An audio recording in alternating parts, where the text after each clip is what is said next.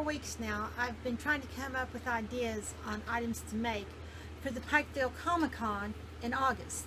I did get an exhibitor table, which means I have to hand make my stuff. It's different from an artist table. An artist table is more like artwork, although I will, I haven't decided if I try to take any of the stuff that I make or not. But I still am classified as an exhibitor and not as a vendor.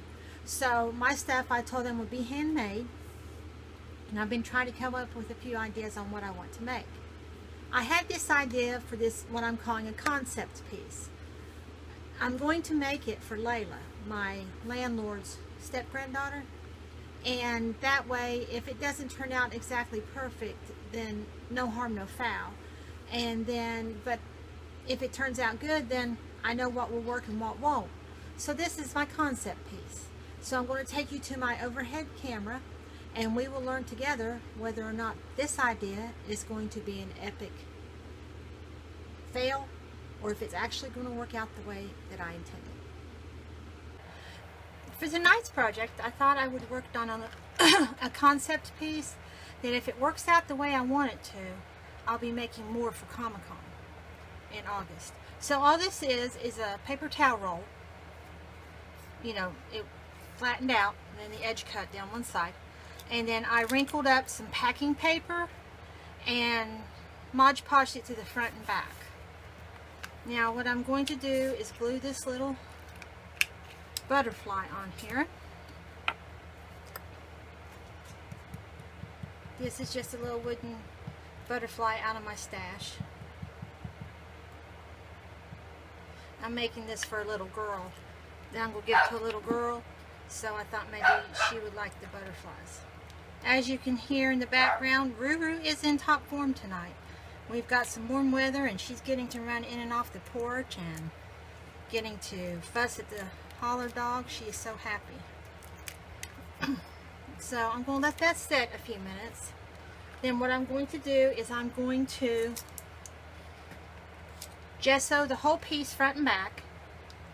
And then I'm wanting to do something a little bit in the style of this as far as colors.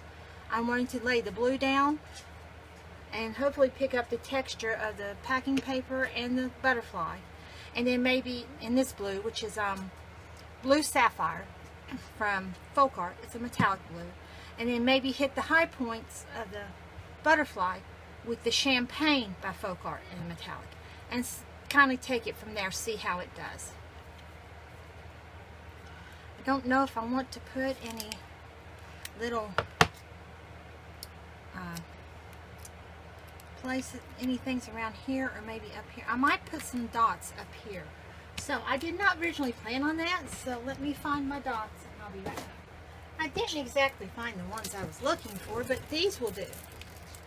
They're about the right size anyway, so might as well use these. So I think I'm going to put three up in that upper corner there opposite the butterfly. And I will have to glue these because I have found in the past that once I start gessoing and painting and putting any kind of pressure on them, they start coming off on me. So, go ahead and glue them down.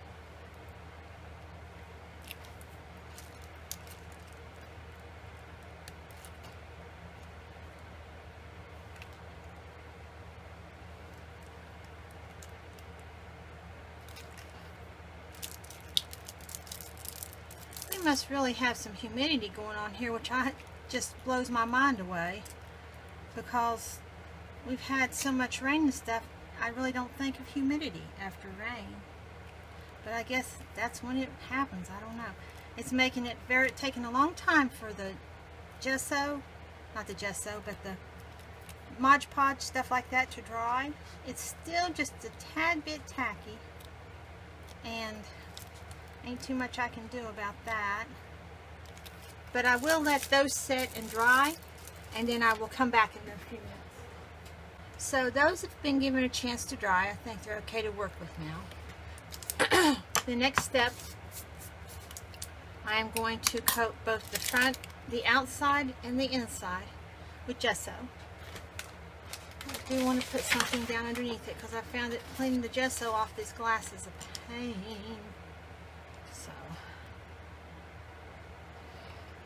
Just going to probably take a couple coats to get it to where I want it.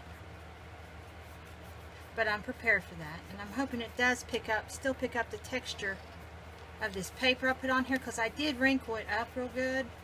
Crinkle it up. What do you call it? Whatever. Balled it up to get crink, uh, to get wrinkles in it. So I did want the wrinkles.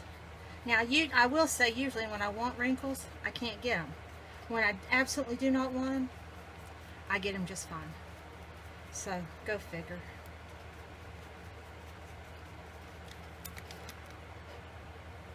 Yeah, I figured it's going to take at least two, maybe three coats to cover it up the way I want.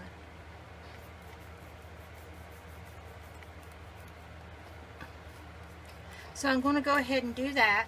Do the front and the back. a Couple coats on each side. Get them dry, and then I'll come back. I got both sides gesso. This side I put three coats of gesso on because I wanted it more covered because I'm going to be doing more of the detail work on it. This side only has the one coat. I'm really not worried about that, the inside part. So now I'm going to base coat it all over with some antique white just because I will, I, I'm, I'm hoping, the plan is that it would help this blue pop more when I go to dry brush it on.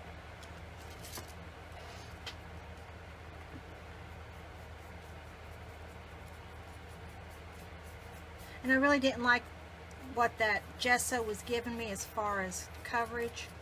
And I, a little bit of dark shown through isn't bad, but that much, I really wasn't digging it too much. So,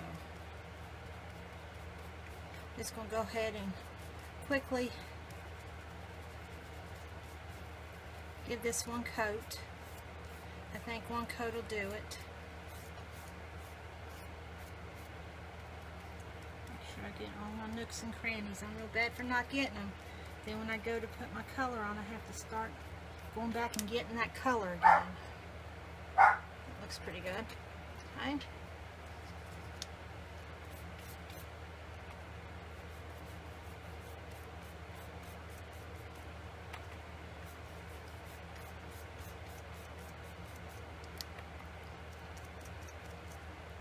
I've come to the opinion I'm going to have to invest in some more metallic paint, different variety of colors, because I really did like how it did on that canvas part for me. Let me get this dried real quick. I think I need to touch up around my little buttons here, or uh, I don't know what you call them, but those things there. I need to get make sure I get around the edges.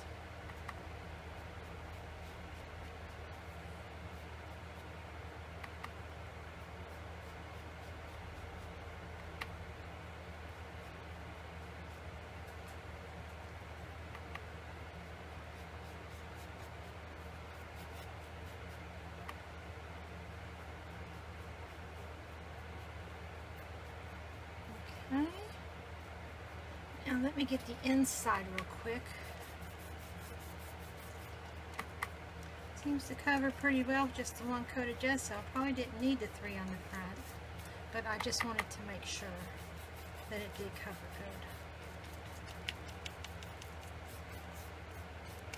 good.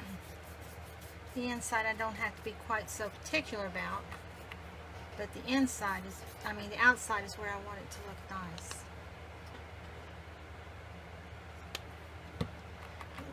Paint out there.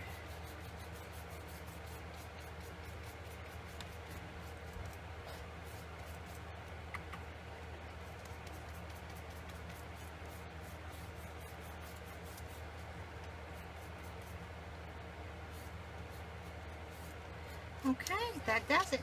Now I'm going to give it a little hit with the heat gun. Now let me fold it real quick see if it's going to need touching up anywhere on the spine. Not that I can see. Not right now, maybe a little bit later. So now we'll move on to the next step. That has dried. I put one coat on each side. Dried pretty well. Made sure I got in between all my crevices and got all my little areas covered. So now I'm going to attempt to put the blue sapphire metallic from Folk Art on it. And I'm going to dry brush this. Don't know if this is going to work or not, but we're going to try. Clean off my brush here.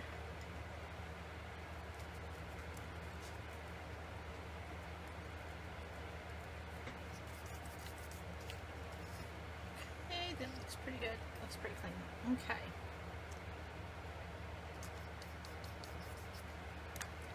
And to attempt it on the back first and see what it does. Oh yeah. Showing up that texture really well.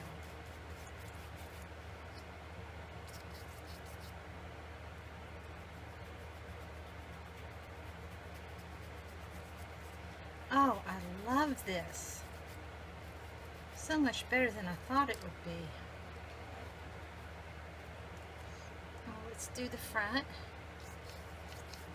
Again, when you're doing this method, I have learned that less is more. Just, I've just done better with it doing it that way, with that frame of mind.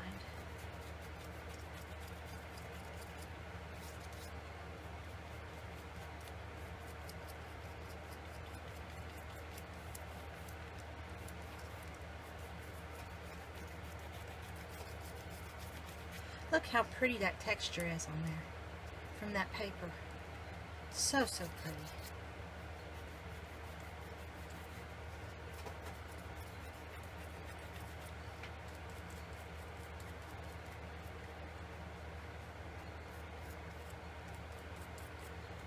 Okay. It dries almost instantaneously too, which is good. Do the inside.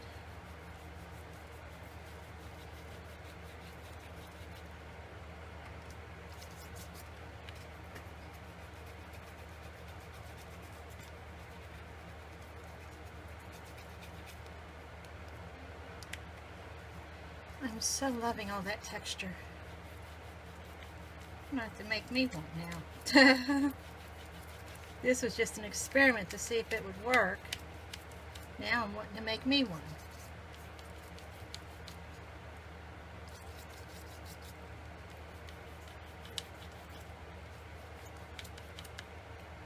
Make sure I get the edges hit and miss them.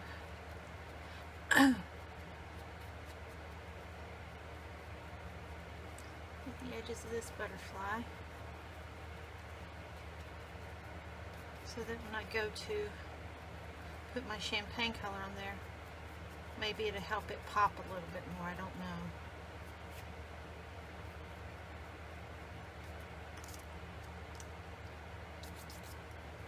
More right here. It's kind of looking light right there.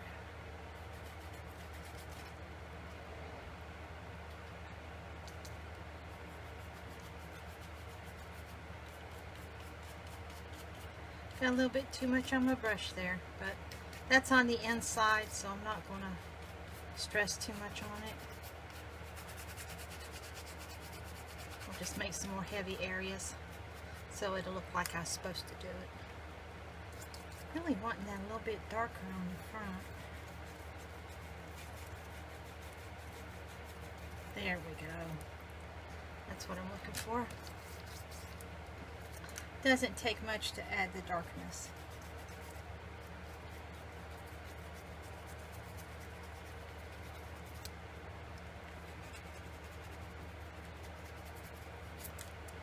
Okay, so there's that.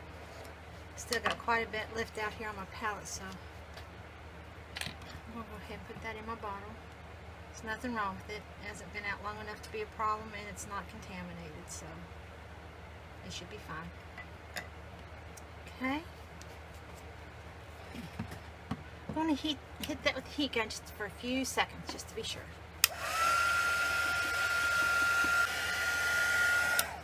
Okay.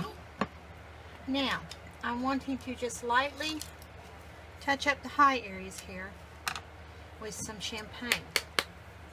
Kind of give it a sparkle. I think I'm going to put some pearl down first. Pearl white, and then maybe some sparkle on top of it.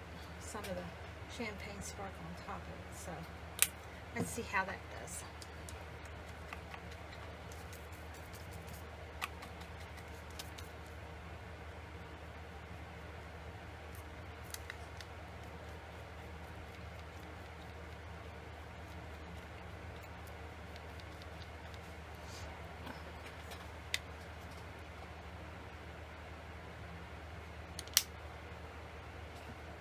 This is the champagne, which has more of a yellow look to it, slightly.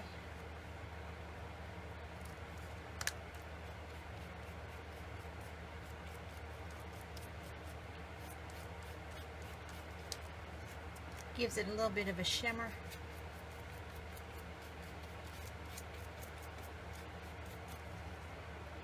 I don't know if you can see it there, but it shimmers a little bit.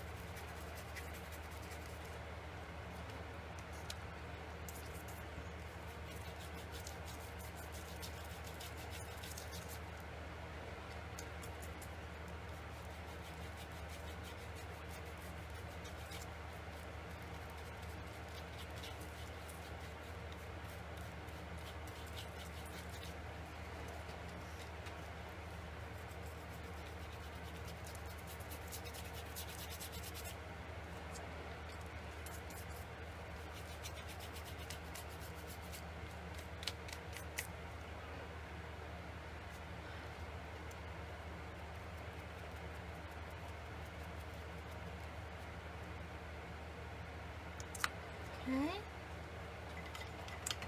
And now for the last little bit, I'm going to put a smidge of silver over top of that champagne.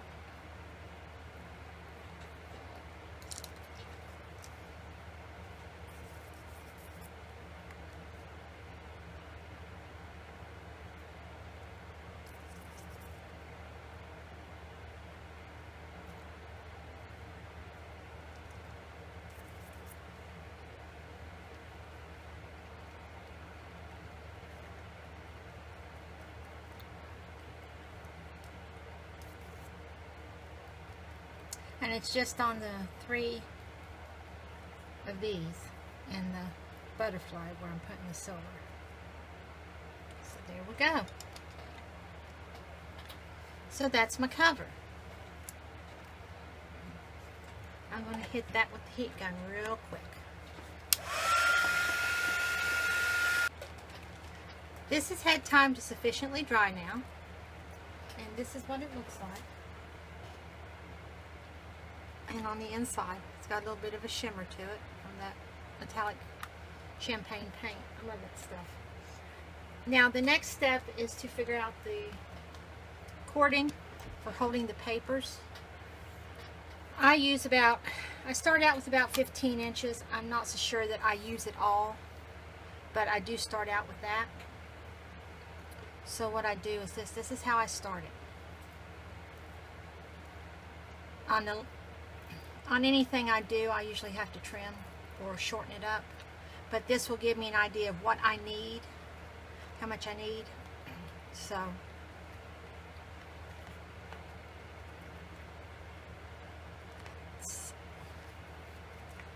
goes like that, and then it will go like that. So, that's about right. Now it's just figuring out where to knot this right here. Where to pull it and knot it to where it will fit.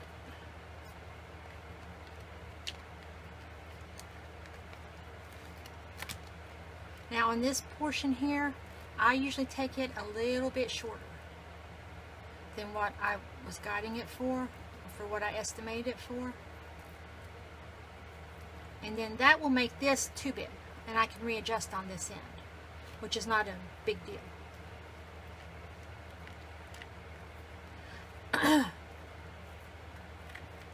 which in this case, it looks like it came out pretty good. About the right measurements. well, you know. So it takes about 15 inches to do one this size. So let me go ahead, pull that really tight there, knot that really good.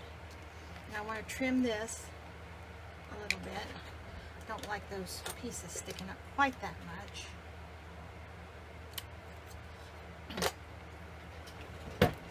Now we've got that part done, and we've got our closure part done goes like that and you can adjust it that that where that hits up or down however you want it and I tend to push that knot to the back just to hide it a little bit. It's not a big deal but that's about how I would do it right there. Now we've got to do the papers for it. The papers I measured them four and a half by three and three quarter. So that once I folded them in half, they would be three and three quarter by two and a quarter, which is a good fit I have found for this book. So I'm going to go ahead and fold all these. And I will fast forward this part because I'm sure you don't want to watch me fold a bunch of papers. Now I have all my papers folded. So I need to figure out what order I want them to go in. In my signature, I have one, two, three, four, five. Five different styles.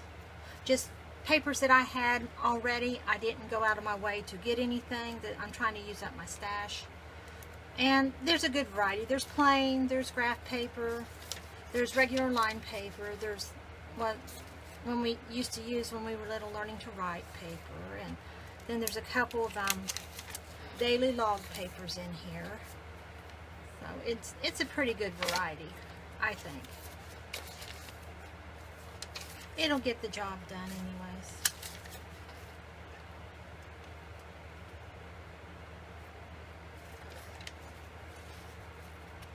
Need to try and get it evened out as much as possible. I'm putting more in this one than I would in another one simply because the little girl I like that I'm giving it to likes to write and draw and do all that kind of stuff. So I thought maybe she'd appreciate the extra pages to work with.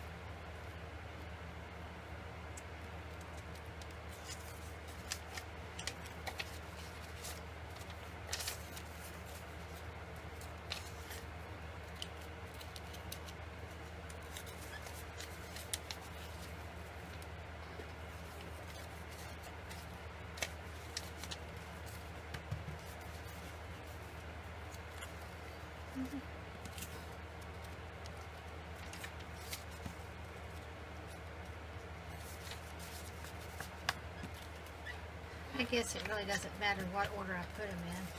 She can always switch them out the order she wants because it is a flow, flow type journal where they will go in and out, so it's not a big deal. Now just put it in here underneath the elastic band. As you can see, it's pretty thick. Close it up, and it's done. I opted not to ink around the edge of this one just because I liked the way it was looking already and I like the way it turned out. So my concept turned out good, so I can move forward with some more that I'd like to make to sell. So I hope you enjoyed this video. This was a quicker one for me than usual. You pretty much saw everything except for like the drying and the monotonous stuff like the painting on and the drying and the cutting the paper. So other than that, you saw pretty much the whole process. I hope you enjoyed it. If you haven't subscribed yet, please subscribe and like this video.